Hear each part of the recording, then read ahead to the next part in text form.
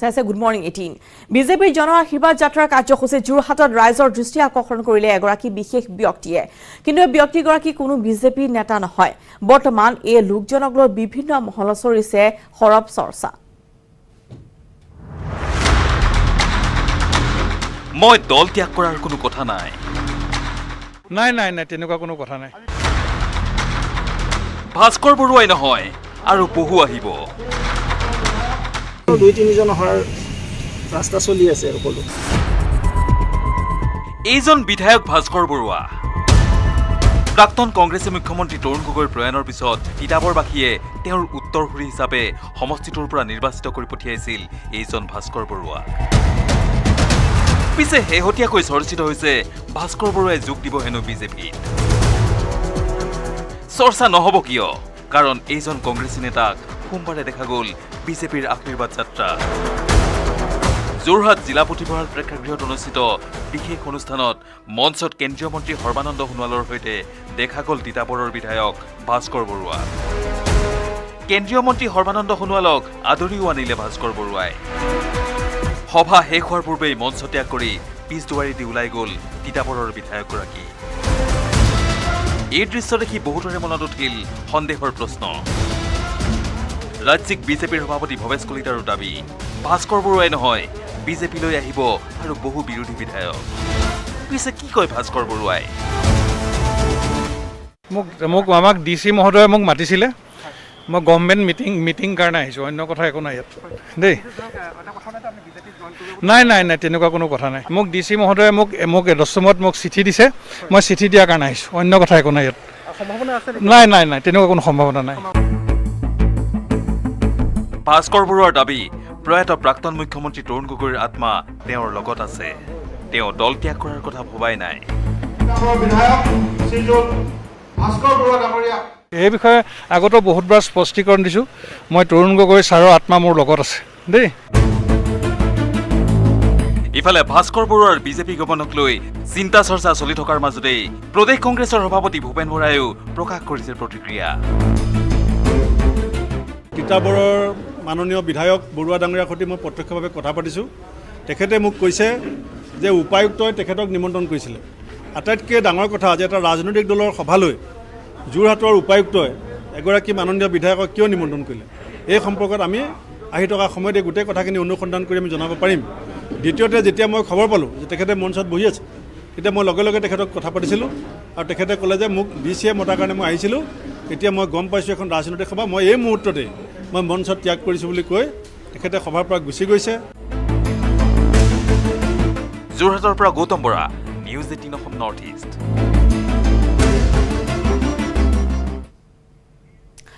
Social মিডিয়াত সন্ত্ৰাসৰ সৃষ্টি কৰিছে তালিবানী সমৰ্থকে। এইবাৰ আৰক্ষী জালত পৰিছে ব্যৱসায়ী। এই পৰ্যন্ত অসমত গ্ৰেপ্তাৰ তালিবানৰ পোন্ধৰটাকৈ সমৰ্থক। ছচিয়েল মিডিয়াত তালিবানী সমৰ্থকৰ সন্ত্ৰাস। অসমত এই পৰ্যন্ত গ্ৰেপ্তাৰ পোন্ধৰটা সমৰ্থক। তালিবানৰ বৰ্বৰতা আৰু নৃশংসতা কোনো নতুন কথা নহয়। শেহতীয়াকৈ আফগানিস্তান দখলৰ পাছত তালিবানীয়ে সংঘটিত কৰা ইটোৰ পাছত সিটো ঘৃণনীয় কাণ্ডই পুনৰবাৰ শিহৰিত কৰি তুলিছে বিশ্ব মানৱক। সেই তালিবানৰে সমৰ্থনত গদগদ হৈ পৰিছে একাংশ দেশদ্ৰোহী। তালিবান সন্দৰ্ভত ছ'চিয়েল মিডিয়াত আপত্তিজনক পোষ্ট আপলোড কৰি এইবাৰ আৰক্ষীৰ হাতত গ্ৰেপ্তাৰ হ'ল মহানগৰীৰ যোৰাবাটৰ এইটো টায়াৰ ব্যৱসায়ী ধৃত বিহাৰৰ মকবুল আলম কিন্তু বিতৰ্কিত পোষ্টৰ পাছতো ঘটনা সন্দৰ্ভত একোৱেই নজনাৰ ভাও বিহাৰৰ মকবুলৰ कहाँ तक है कहाँ तक नहीं मेरा पूरा सेट सेट करके देख लीजिए कि अगर कहीं होगा तो हम जो आप कहेंगे मानने के लिए तैयार है लेकिन अगर इन केस का भी कुछ आपने क्या कमेंट किया था क्या कमेंट किया था आपने कमेंट मेरा कुछ याद नहीं है हमको कि क्या कमेंट का वही लोग बताएंगे कि किस वजह से हमको दे रहे हमको मालूम नहीं है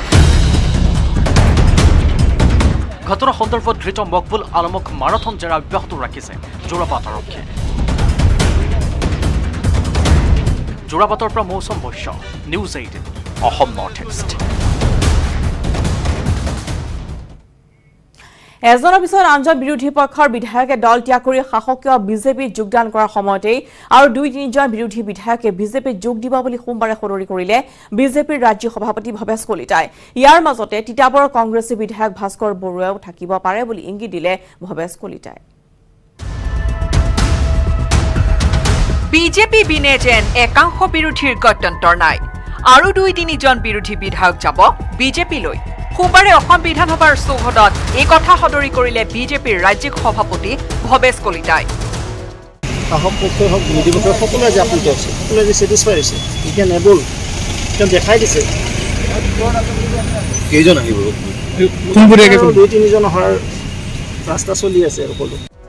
ইতিমধ্যে মৰিয়নী সমষ্টিৰ চাৰিবাৰৰ বিধায়ক ৰূপজ্যোতি কুৰ্মী আৰু থাওৰা সমষ্টিৰ বিধায়ক সুশান্ত বৰগোহাঁয়ে বিধায়ক পদ আৰু কংগ্ৰেছ দল ত্যাগ কৰি যোগ দিছে শাসকীয় বিজেপিত অহা এক ছেপ্টেম্বৰত ভৱানীপুৰৰ এ আই ইউ ডি এফৰ বিধায়ক এইজন ফণী তালুকদাৰেও বিধায়ক পদ আৰু A I U D F ত্যাগ কৰি যোগ দিব বিজেপিত ইয়াৰ মাজতে নাম চৰ্চাত থকা তিতাবৰ সমষ্টিৰ কংগ্ৰেছী বিধায়ক ভাস্কৰ জ্যোতি বৰুৱাই সোমবাৰে অংশগ্ৰহণ কৰিলে কেন্দ্ৰীয় মন্ত্ৰী সৰ্বানন্দ সোণোৱালৰ আশীৰ্বাদ যাত্ৰাত। ইয়াৰ পিছতে প্ৰশ্ন উঠিছে বিজেপিত যোগ দিব নেকি কংগ্ৰেছী বিধায়ক ভাস্কৰ বৰুৱাই? এই প্ৰসংগত ৰাজ্যিক বিজেপিৰ সভাপতি ভৱেশ কলিতাক প্ৰশ্ন কৰাত কলিতাই ক'লে কেৱল ভাস্কৰ জ্যোতি বৰুৱাই নহয় আৰু আছে তালিকাত আৰু দুই তিনিজন আহিব বিজেপিলৈ। যদি আহিছে খুব ভাল কথা মই ৱেলকাম কৰিছোঁ। এনেকুৱা অভিযান মোদী ডাঙৰীয়াক তেখেতে ধন্যবাদ দিছে। কেইজন আহিব? দুই তিনিজন অহাৰ ৰাস্তা চলি আছে আৰু সকলো ইফালে বিজেপিলৈ মন কৰা বিৰোধীৰ ভিতৰত চৰ্চাত আছে বটদ্ৰৱাৰ কংগ্ৰেছী বিধায়ক শিৱামণি বৰাৰ নামো। অৱশ্যে শিৱামণিয়ে বিজেপিত যোগদান নকৰো বুলি ইতিপূৰ্বেই তুলিছে স্পষ্ট দাবী। বিজু কুমাৰ ডেকাৰ report news eighteen Assam north east. Assam Mizoram আন্তঃৰাজ্যিক সীমান্তত শান্তি স্থাপনৰ লক্ষ্য। অসম আৰক্ষীয়ে প্ৰত্যাৰ্পণ কৰিলে সীমান্তৰ পৰা জব্দকৃত নিৰ্মাণ সামগ্ৰী। হাইলাকান্দি আৰক্ষীয়ে মিজোৰাম আৰক্ষীক চমজালে ৰড চিমেণ্টকে আদি কৰি জব্দকৃত সকলো সামগ্ৰী। বিগত একৈছ আগষ্টত সীমান্তৱৰ্তী কচুৰথল এলেকাৰ পৰা হাইলাকান্দি আৰক্ষীয়ে জব্দ কৰিছিলে এই সামগ্ৰীখিনি। ইনাৰ লাইন ৰিজাৰ্ভ ফৰেষ্ট এলেকাৰ কচুৰথলত কলভাৰ্ট নিৰ্মাণৰ চেষ্টা চলাইছিল মিজোৰামৰ লোকে। উল্লেখযোগ্য যে দুই ৰাজ্যৰ সীমান্তত সকলো প্ৰকাৰৰ নিৰ্মাণ কাৰ্য বন্ধ কৰাৰ সিদ্ধান্ত গ্ৰহণ কৰিছিল কেন্দ্ৰীয় চৰকাৰে। কিন্তু কেন্দ্ৰৰ নিৰ্দেশক অৱমাননা কৰি যোৱা দহ দিনৰ পৰা প্ৰতিনিয়ত হাইলাকান্দি জিলাৰ বিভিন্ন প্ৰান্তত অসমৰ ভূমি বেদখলৰ চেষ্টা চলাই নিৰ্মাণ কাৰ্য অব্যাহত ৰাখিছে মিজো দুৰ্বৃত্তই मिज़ोरम की साइड से बहुत सारे मिज़ो आईआरबीएन की जवान अराउंड थर्टी फोर्टी वो उस कलवर्ट के पास आके उन्होंने अग्रेसिव पोजीशन ले लिया और उनमें से चार पांच जवान कलवर्ट के आसाम साइड में आके उन्होंने वहाँ पे पोजीशन लिया जो कि एकदम वॉलेशन था फिफ्थ अगस्त का जो जॉइंट स्टेटमेंट है बिटवीन टू गवर्नमेंट्स उसका। तो अपने पोजीशन को असर्ट करने के लिए 22 तारीख को which was yesterday Hailakandi police uh, मेरे साथ काफ़ी सीनियर ऑफिसर्स कमांडोज और फोर्सेस हम लोग उस पोजीशन के लिए मूव किए। सिचुएशन एस्केलेट ना हो इसके लिए दोनों साइड के गवर्नमेंट्स ने सिविल एडमिनिस्ट्रेशन ने आपस में बात की। और उसके बाद अ, उन लोगों ने अपने फोर्स को पीछे ले लिया। और हमने उनका कंस्ट्रक्शन का मटेरियल जो कि वो हमारे साइड छोड़ के गए थे, उसको हमने मिज़ोरम में जाके उनको हैंड ओवर कर दिया कि वो अपने एरिया में उस कंस्ट्रक्शन मटेरियल को रखें। और उसके बाद आज मॉर्निंग में हाई लेवल मीटिंग में डिसाइड हुआ है कि अब कंस्ट्रक्शन वहाँ पर नहीं होगा। हाँ तो एस्केलेशन को कम करने के लिए यूनियन होम सेक्रेटरी और दोनों स्टेट्स के चीफ सेक्रेटरीज और सीनियर ऑफिशियल्स का आज एक मीटिंग हुआ, जिसके बाद मैटर को डी करने को कहा गया और कंस्ट्रक्शन को पूरी तरह से बंद करने का इंस्ट्रक्शन পূৰ্বে বিজেপিত যোগদান নকৰি মই বহুত ভুল কৰিলো কেমেৰাৰ সন্মুখত অনুশোচনা প্ৰকাশ কৰিলে মৰিয়নিৰ প্ৰাক্তন বিধায়ক ৰূপজ্যোতি কুৰ্মীয়ে আনহাতে একালৰ সতীৰ্থ তথা বৰ্তমানৰ কংগ্ৰেছৰ সভাপতি ভূপেন বৰাকো কটাক্ষ কৰিবলৈ নেৰিলে ৰূপজ্যোতি কুৰ্মীয়ে কেমেৰাৰ আগত বাৰে বাৰে অনুশোচনা ৰূপজ্যোতি কুৰ্মীৰ আগতে নাহিলো কিয় মই ভাৰতীয় জনতা পাৰ্টীত কেলৈ আগতীয়াকৈ যোগদান নকৰিলোঁ সেই দুখটো মোৰ চাগে জীৱনত থাকি যাব ৰাজ্যত উপ নিৰ্বাচনৰ বাবে আৰম্ভ হৈছে খদমদম নিৰ্বাচন হ'বলগীয়া সমষ্টিবোৰ যাতে বিজেপিলৈকে আহে তাৰ বাবে সকলোতকৈ তৎপৰ হৈছে শাসকীয় দলটো। ৰূপজ্যোতিৰ পদত্যাগৰ পিছত খালী হৈ থকা সমষ্টি মৰিয়নিতো সোমবাৰে উপস্থিত হয় বিজেপিৰ আশীৰ্বাদ যাত্ৰাৰ অংশগ্ৰহণকাৰীসকল। দলীয় প্ৰশংসাত গদগদ হৈ থকা প্ৰাক্তন বিধায়ক ৰূপজ্যোতি কুৰ্মীৰ মতে আকৌ মৰিয়নিৰ প্ৰাৰ্থী কোন বুলি কথা নাই? মৰিয়নিত বিজেপিৰ হৈ যিয়ে খেলে তেওঁৱেই জিকিব। কংগ্ৰেছৰ ইয়াৰ এতিয়া অৱস্থা একেবাৰে বিধ্বস্ত। মই আপোনাক কৈছোঁ বাওঁহাতে লিখি দিম যে যোনে প্ৰাৰ্থিত্ব পায় উপ নিৰ্বাচনত তেওঁ জয়ী হ'ব। মই প্ৰাৰ্থিত্ব নাপালে যোনে প্ৰাৰ্থিত্ব পায় তেওঁকে জিকাম। আৰু ইমানেই বিপুল ভোটত জয়ী কৰাম যে এটা মানে ঐতিহাসিক জয় হ'ব মৰিনী উপ নিৰ্বাচনত ভাৰতীয় জনতা পাৰ্টীৰ প্ৰাৰ্থীগৰাকী পিছে ৰূপজ্যোতিৰ কথা গুৰুত্ব দিবলগীয়া নহয় বুলি কটাক্ষ কৰিলে প্ৰাক্তন কংগ্ৰেছীয় তীৰ্থই ৰূপজ্যোতি কুৰ্মীক কি কৈছে মই কেলৈ নকওঁ? ৰূপজ্যোতি কথাৰ কোনো গুৰুত্ব নাই। ৰূপজ্যোতি কুৰ্মীৰ এই মানে তেওঁ যিবিলাক বহুৱালি কৰি থাকে এই বহুৱালিৰ উত্তৰ ভালকৈ এই উপ নিৰ্বাচনত পাব। ইফালে প্ৰদেশ কংগ্ৰেছৰ সভাপতি ভূপেন বৰাকো প্ৰতি সমালোচনা ৰূপজ্যোতি কুৰ্মীয়ে। ভূপেন বৰা ডাঙৰীয়া আজিৰ তাৰিখত যদি পঞ্চায়তৰ সভাপতি উঠে ভূপেন বৰা সেয়াও চাগে তেওঁ একদম বিধ্বস্তভাৱে তেওঁ হাৰিব। সেই তেনে এজন ভূপেন বৰা দুবাৰকৈ বিধায়ক পদ নিৰ্বাচন হাৰিছে।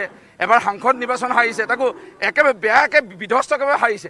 তেওঁ এতিয়া যদি আকৌ ইয়াত বৰ বৰ কথা ক'বলৈ কংগ্ৰেছৰ কি মানুহ নাপালে? বলেন ভট্টাচাৰ্যৰ সহযোগত bureau report news eighteen Assam north east.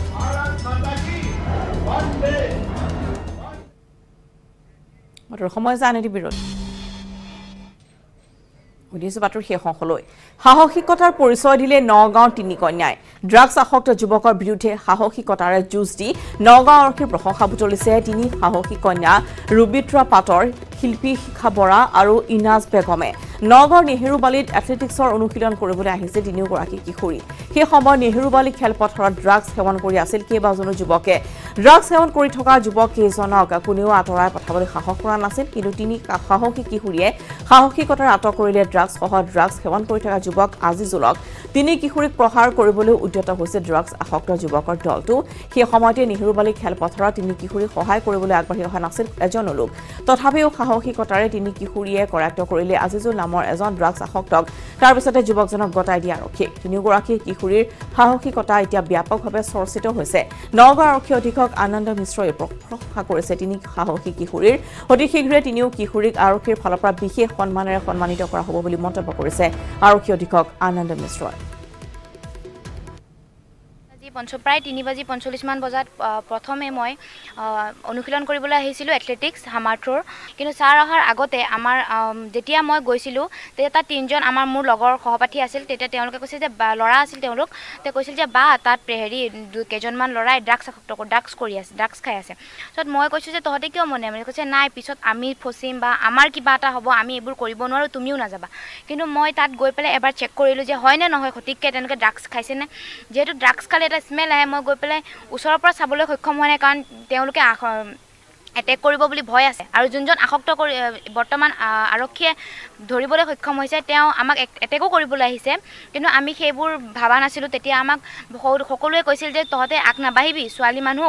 পিছত কিবা প্ৰব্লেম হ'ব তহঁতে ফচিবি বা তহঁতৰ কিবা হ'ব। কিন্তু আমি সেই সপ্তাহ ভয় নকৰিলোঁ আৰু মই বিশেষকৈ মোক কৈছে তোৰ নম্বৰটো আৰক্ষী থানাত যাব যে এইবিলাক নকৰিবি। কিন্তু মই মোৰ নিজৰ নাম্বাৰ দি নগাঁও সদৰ থানাত ফোন কৰিলোঁ। ফোন কৰি সকলোবোৰ কথা ক'লোঁ আৰু তেওঁলোকে বিপুল সঁহাৰি জনালে আমাক আমাৰ তিনিজনী বিশেষকৈ। আমি গ'লোঁ তেওঁলোক গ'ল। তেওঁলোকে গৈ পেলাই এজনক ধৰিব পাৰিলে কিন্তু বাকীকেইজন যোৱা ছাৰহঁত যোৱালৈকে পলাই গম পাইছে যে মই ফোন কৰিছোঁ বুলি পেলাই সেইকাৰণে তেওঁলোকে পলাই গ'ল। আৰু মই আজি এই চেনেলৰ যোগেদি সকলোকে এটাই অনুৰোধ কৰিছোঁ সকলো নাৰীক অনুৰোধ কৰিছোঁ তেওঁলোকে সকলোৱে যাতে ওলাই আহে কোনো কাৰণত যাতে পিছ নপৰে। ছোৱালী মানুহ ভৱিষ্যতলৈ কিবা হ'ব বা পিছৰ প্ৰজন্মৰ আহ, পিছলৈ আমি তেওঁক ধৰাই দিয়াৰ পিছত যিকেইজন বাচিলে সেইকেইজনে আমাৰ চেহেৰা দেখিছে যে আমাক এটেক কৰিব বুলি ভয় নকৰি সৎ সাহসেৰে ওলাই আহি নিজৰ ছেফটি নিজৰ নিজকে যাতে বচাবলৈ চেষ্টা কৰে সেইটোৱে মই বিচাৰোঁ। অৱশ্যে ডিব্ৰুগড়ত আৰক্ষীৰ জালত পৰিছে দুই মানৱ অংগ সৰবৰাহ কৰি। কিডনী কাণ্ডৰ মাষ্টাৰ মাইণ্ড গিৰিন সোণোৱালৰ লগতে সমৰ পাল নামৰ দালালজনক গ্ৰেপ্তাৰ কৰিছে ডিব্ৰুগড়ৰ ঘোঁৰামৰা আৰক্ষীয়ে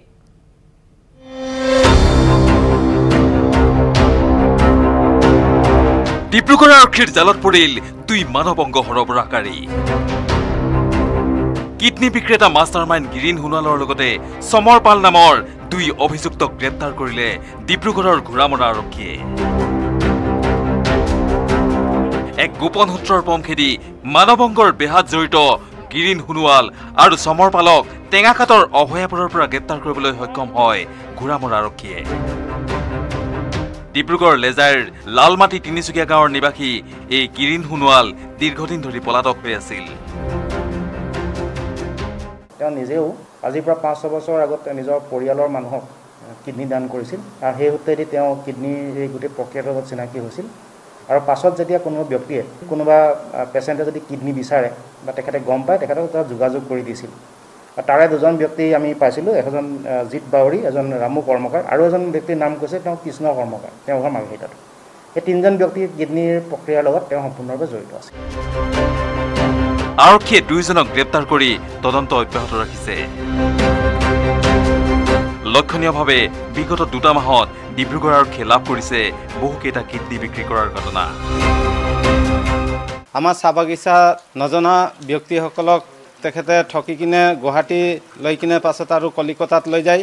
আৰু লৈ যোৱাৰ পাছত ৰবীন্দ্ৰনাথ টেগুৰৰ তাত মানে কিডনীটো ব্যৱসায় কৰে আৰু দালাল চক্ৰ হিচাপে কম দামতে আমাৰ চাহ শ্ৰমিক ৰাইজক পইচা দি কিনে তেখেতে বেছি দামত বিক্ৰী কৰি তেখেতে দালাল ব্যৱসায় কৰি আছিলে। ডিব্ৰুগড়ৰ পৰা Riheshwar Barua news eighteen Assam north east.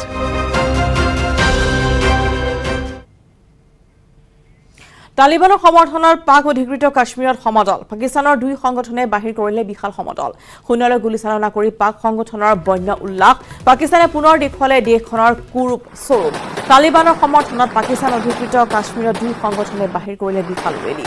শূন্যলৈ লক্ষ্য কৰি চলালে কেইবাজায়ো গুলী কোনো সন্ত্ৰাসবাদী গোটক সমৰ্থন নকৰা বুলি মিথ্যাচাৰ বিলাই ফুৰা পাকিস্তানৰ ওলাই পৰিল জুলুঙা মেকুৰী। সোমবাৰে পুৱাই লস্কৰী তৈবা আৰু জেছ ই মহম্মদৰ নেতা পালি নেতাই প্ৰথমে উলিয়ালে ৰেলী আৰু তাৰ পিছতে গুলী ফুটাই কৰিলে বন্য উল্লাস।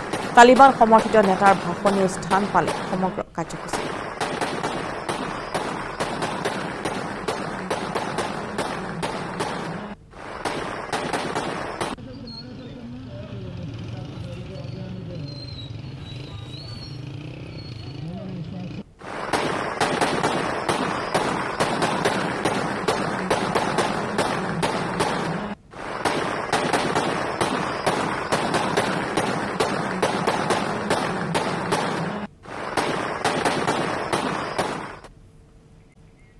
আফগানিস্তানত অব্যাহত ভাৰতীয়ৰ উদ্ধাৰ অভিযান। কাবুলৰ পৰা ভাৰতলৈ উভতিল চাৰিশ জন লোক। এই চাৰিশ লোকৰ মাজত আছে ষাঠিজন আফগান লোক। তাৰে তেইছজন হৈছে শিখ আৰু হিন্দু।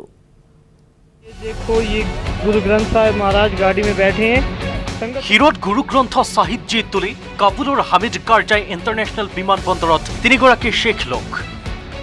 মুখত সন্তোষৰ হাঁহি। তালিবানৰ কবলিত কাবুলৰ পৰা ভাৰতলৈ অহাৰ বাবে সাজু হৈছে তেওঁলোক।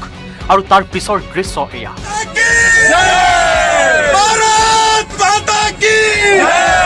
কাবুলৰ পৰা ভাৰত অভিমুখে উৰা মৰা বিমানত হাতত পবিত্ৰ গ্ৰন্থখন লৈ যাত্ৰা কৰিছে তেওঁলোকে। আফগানিস্তানৰ পৰা ভাৰতীয়সকলক উদ্ধাৰ অভিযান অব্যাহত ৰাখিছে ভাৰতে। দেওবাৰে চাৰিশ লোক লৈ কাবুলৰ পৰা উৰা মাৰে এখন ভাৰতীয় বিমানে। এই চাৰিশ লোকৰ মাজত আছে ষাঠিগৰাকী আফগান লোক। তাৰে তেইছগৰাকী শিখ আৰু হিন্দু।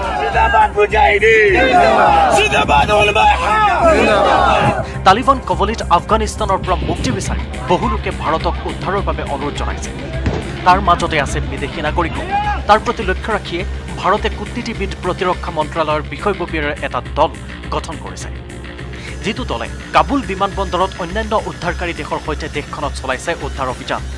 আনহাতে কাবুল দখলৰ প্ৰায় এসপ্তাহ পিছত আফগানিস্তানত সগৰ্বে পদাৰ্পণ কৰে তালিবানৰ প্ৰতিষ্ঠাপক মোল্লা আব্দুল খানে ইপিনে সময় বাগৰাৰ লগে লগে নিজৰ স্বৰূপ দেখুৱাইছে তালিবানে। খানেৰ উপস্থিতিৰ সময়তে তালিবানে গুলীয়াই হত্যা কৰে সাতজন আফগান নাগৰিকক। তালিবানে হেৰাটত ফটোৱা জাৰি কৰি সকলো শিক্ষানুষ্ঠানতে নিষিদ্ধ কৰিলে সহশিক্ষা। এসপ্তাহ পূৰ্বে ৰাজধানী চহৰ কাবুলসহ আফগানিস্তানৰ প্ৰায়বোৰ অঞ্চল দখল কৰা তালিবান তীব্ৰ প্ৰত্যাহ্বানৰ সন্মুখীন হৈছে পঞ্চশীৰ উপত্যকা দখলৰ যুঁজত। পঞ্চশীৰ উপত্যকাত প্ৰৱেশৰ চেষ্টা কৰোঁতেই তালিবান বিৰোধী মাছুদ বাহিনীৰ এম্বুছৰ চিকাৰ হয় তালিবানী বাহিনী।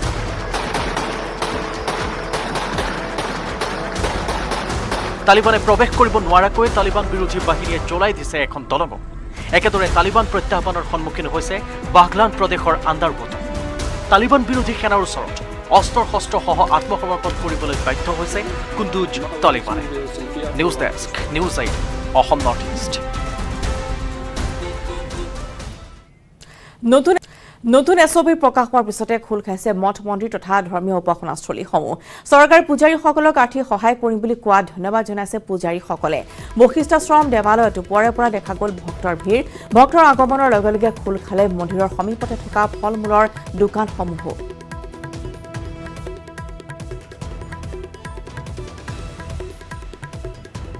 আগবঢ়াইছো উৎপল হালৰ এক প্ৰতিবেদন। আমি উপস্থিত আছোঁ আজি মহানগৰীৰ সন্ধ্যাললিতা কান্তাৰ সংগমস্থলী বশিষ্ঠ মন্দিৰ দেৱালয়ত। আৰু বশিষ্ঠ আশ্ৰম দেৱালয়ৰ পৰিৱেশ মোৰ সতীৰ্থক এই মুহূৰ্তত দেখুৱাবলৈ অনুৰোধ জনাইছোঁ যে ৰাতিপুৱাৰ ভাগতে ভক্তসকল আহিছে আৰু এনেদৰে যি শিৱ মূৰ্তি আছে বা অন্যান্য বশিষ্ঠ দেৱালয়ত থকা যিসমূহ প্ৰতিমূৰ্তি আছে সকলো স্থাপনাতে তেখেতসকলে নিজৰ মনৰ বাঞ্ছা পূৰ্ণ হওক বুলি প্ৰাৰ্থনা কৰিছে। আৰু এনে সময়তে নতুন এছ অ' পি যোগে চৰকাৰে আন এক কথা প্ৰকাশ কৰিছিলে যে যিসকল তীৰ্থস্থানত থকা পূজাৰী আছে বা তেখেতসকলক পোন্ধৰ হাজাৰকৈ টকাৰ এক প্ৰকাৰ বা আৰ্থিক সাহাৰ্য প্ৰদান কৰা বুলি কৈছিলে আৰু তাৰ ফলত তেখেতসকলে যথেষ্ট সুখী অনুভৱ কৰিছে। আৰু আমাৰ লগত বশিষ্ঠ আশ্ৰম দেৱালয়ৰ যিগৰাকী মূল দলয় তেখেত আছে আমি তেখেতৰ পৰা কিছু কথা জানিবলৈ চেষ্টা কৰিম। তাৰ সমান্তৰালভাৱে মই পুনৰ উল্লেখ কৰিছোঁ যে বিগত তিনিমাহ ধৰি বন্ধ হৈ আছিলে। যাৰ ফলত দলয়সকলে হওক বা মঠ মন্দিৰৰ অৱস্থা তথৈবচ হৈ পৰিছিলে বা দলয়সকলৰ পানীত হানচৰা অৱস্থা হৈছিলে তেনে পৰিপ্ৰেক্ষিতত তেখেতসকলক চৰকাৰ প্ৰশাসনে পোন্ধৰ হাজাৰকৈ টকা দিছে আৰু আজি চাৰিদিন হ'ল মন্দিৰ প্ৰশাসন খুলিছে কি ক'ব কেনে লাগিছে? আমাৰ আজি তিনিমাহ মন্দিৰ বন্ধ হৈ আছিল এই মহামাৰীৰ কৰোণা মহামাৰীৰ কাৰণে। আৰু আজি তিনিদিন হ'ল আমি মন্দিৰ খুলিছোঁ আৰু ইয়াত ক'ভিডৰ যিটো নীতি নিয়ম সেইটো যিখিনি পৰা যায় ৰক্ষা কৰাৰ কাৰণে আমি চেষ্টা কৰিছোঁ। আৰু আমাৰ এটাই অকণমান অসুবিধা হৈ আছে যে আমাৰ মন্দিৰত নিৰ্মাণ কাৰ্য চলি আছে। মূল মন্দিৰৰ লগত যিটো সভাঘৰ আছে সেইটোও ভঙা হৈছে। সেইটোৰ কাৰণে ভক্তসকলে অলপ অসুবিধা পায়। সেইকাৰণে আমি বাহিৰত এটা বিশেষ স্থাপনা কৰিছোঁ। তাত আহি সেৱা কৰে আৰু মন্দিৰটো এনেই খোলা আছে যদিও তাত গৈয়ে প্ৰণাম কৰি আহে। এতিয়া আমাৰ কথা হ'ল যে এই ঐতিহাসিক দেৱালয়বিলাকৰ ৰক্ষা কৰিব লগা হ'লে যিখিনি মানুহ তাত থাকে তেওঁলোকৰ অৱস্থাটো দেৰিকৈ হ'লেও চৰকাৰে অলপ চিন্তা চৰ্চা কৰি কৰা বুলি শুনিছোঁ বাতৰিত পাইছোঁ যে প্ৰত্যেক পূজাৰীকে মন্দিৰ নামঘৰ এইবিলাকৰ পূজাৰীক পোন্ধৰ হাজাৰকৈ টকা দি আৰ্থিক সাহাৰ্য কৰিব। সেইটোৰ কাৰণে প্ৰায় পুৰোহিতবিলাকে সকলোৱে সুখী হৈছে যে অকণমান পালেও তেওঁলোকৰ কিছু সকাহ হয়। কাৰণ খুব কষ্টত তেওঁলোকে ভুগি আছে আৰু ৰাইজৰ যিখিনি দান বৰঙণি আগতে পাইছিল এতিয়াতো এই বন্ধৰ কাৰণে সকলো বন্ধ। আৰু এইবাৰো যিখিনি সাহাৰ্য যোৱাবাৰ লকডাউনত যিখিনি সাহাৰ্য আগবঢ়াইছিল এইবাৰ সেইটো পৰিমাণটো একেবাৰেই কম। গতিকে চৰকাৰে এই যিটো এটা পদক্ষেপ লৈছে তাৰ কাৰণে আমি চৰকাৰক ধন্যবাদ জনাইছোঁ। আৰু এই প্ৰক্ৰিয়াটো যাতে অতি সোনকালেই কাৰ্যকৰী কৰে। তাৰ কাৰণে মই চৰকাৰৰ ওচৰত অনুৰোধ জনাইছোঁ। ধন্যবাদ জনাইছোঁ। এয়া আছিলে বশিষ্ঠ মন্দিৰ পৰিসৰ যি যি মূল পূজাৰীৰ ভাগ মন্তব্য। আৰু এই মুহূৰ্তত আমাৰ সতীৰ্থ আন এটা দৃশ্য দেখুৱাবলৈ অনুৰোধ জনাইছোঁ। আৰু ৰাতিপুৱাৰ ভাগতে এনেদৰে ভক্তসকল ওলাই আহিছে আৰু তেখেতসকলে মনৰ বাঞ্ছা পূৰ্ণ হওক বুলি এনেদৰে পূজা পূজা কৰিছে। কিয়নো যদিহে চোৱা যায় ক'ভিড নাইণ্টিনৰ বাবে বিগত তিনিমাহ ধৰি বা কাল কৰোণাৰ বাবে সকলো বন্ধ হৈ পৰিছিলে। লগতে বাতৰিৰ পৰা বিদায় লৈছোঁ। নমস্কাৰ।